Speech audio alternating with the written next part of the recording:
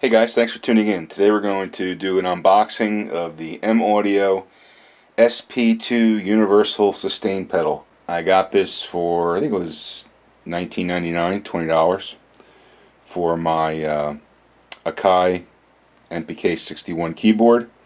So we're going to unbox it and then we'll check it out and let you know how it works. So here we go.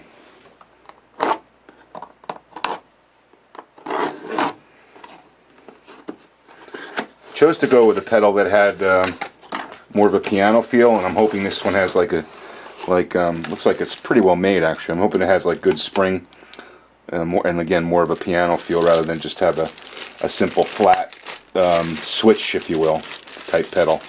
This one looks um, pretty nice. So let's see here.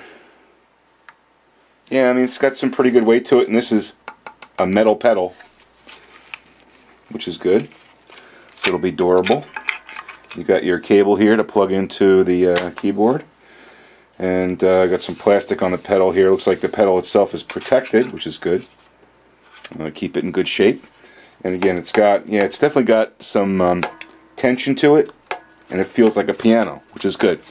Uh, so let's hook this up to the uh, the keyboard and uh, see what it feels like and what it, how it works.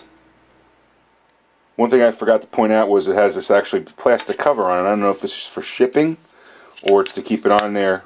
It kind of snaps in place and holds pretty tight, so maybe it's on there for use while you're using it to keep the pedal, which is metal, nice and shiny and uh, not scratching up. So I'll leave it on there. It doesn't it doesn't uh, impede um, you know the moving the switch down. You can see there's a little stopper right there.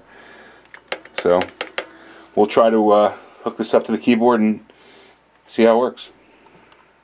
Alright, so I got my keyboard here and I basically hooked the uh, sustain pedal into one of the foot switch connections. I have two of them on this keyboard, so I've hooked it into foot switch one. I've got it running down to six foot cable and then there's my foot switch right there, the SP2 foot switch sitting there on my uh, Yankee my Yankee floor mat. So anyway, we'll give this a try and we'll see how it works. Alright, so first we'll do a piano demo, and we'll do, uh, the first one will be without using the sustain pedal.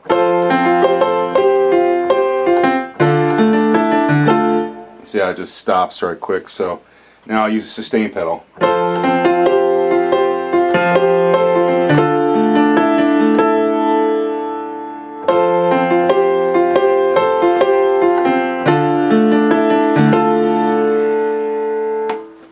Sending MIDI data fine to uh, my software, working great. So that's a piano. Let's try it with the organ. Or now we'll try it with a simple organ patch here.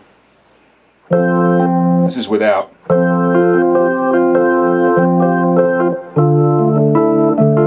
Obviously distinct notes. Now we'll do it using the pedal.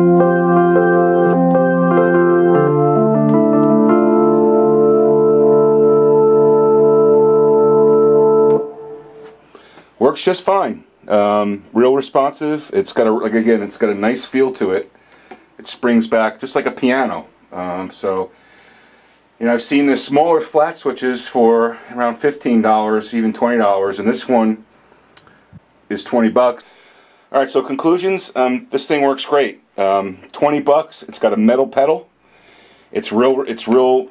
It's stiff, so it gives you like a real piano type of feedback and uh, you know, I've seen other flat switches for around the same price, and you know, provided this thing stands up, which all the reviews online are pretty good about it, I'd much prefer having a real pedal. So that's the M-Audio SP2 sustain pedal. If you're looking for a sustain pedal, you might want to check this one out. Hope this was helpful. Please uh, comment and uh, subscribe, and thanks for watching.